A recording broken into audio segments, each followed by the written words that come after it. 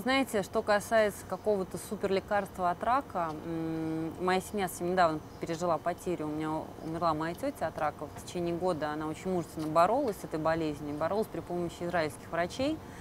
Параллельно мы изучили абсолютно все, что происходит на современном рынке разработки, все разработки, которые ведутся в США, в Великобритании, а, в Японии. В общем-то, я могу сказать, что они все примерно на одном уровне. Сегодня в, таких широких кругах не говорится о том, что существует некая вакцина, некое лекарство, которое убивает. А, это все в разработке, обещают 3-5 лет. И я думаю, что так это и есть. Что же касается, почему мы выбрали израильскую медицину, потому что то, а, как людям смертельно больным предоставляют услуги в России, даже за деньги, за очень большие деньги, я не говорю даже про бесплатную помощь онкобольным, про исследования, одно, которые стоят по 20, 30, 40, 50 тысяч рублей. Люди должны унизительно ждать часами в коридорах коммерческих заведений, которые ничем не оснащены.